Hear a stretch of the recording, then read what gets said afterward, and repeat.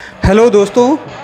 दोस्तों, आज की इस वीडियो में मैं आपको उड़ीसा के जगन्नाथपुरी में जो रथ यात्रा निकाली गई है, उसके दृश्य मैं दिखाने वाला हूँ।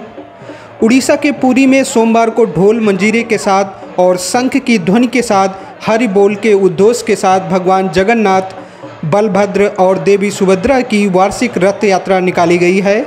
उसके दृश्य आप देख रहे हैं।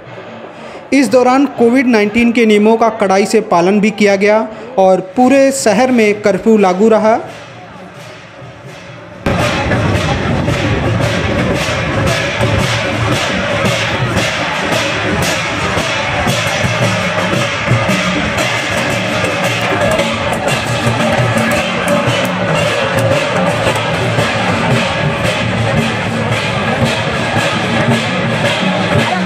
बारहवीं शताब्दी के मंदिर के इतिहास में लगातार दूसरे साल और दूसरी बार ऐसा हुआ है जब रथ यात्रा में आम जन शामिल नहीं हो सके।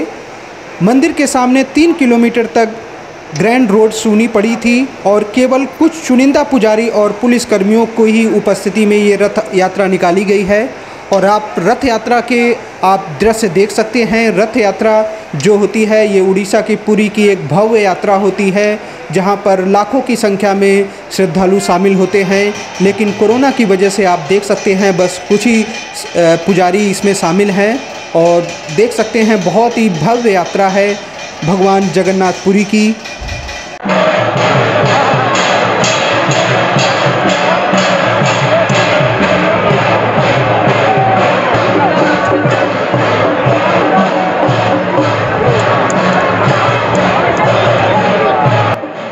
ऐसी ही और वीडियो देखने के लिए चैनल को सब्सक्राइब करके बेल आइकन ज़रूर दबा दें।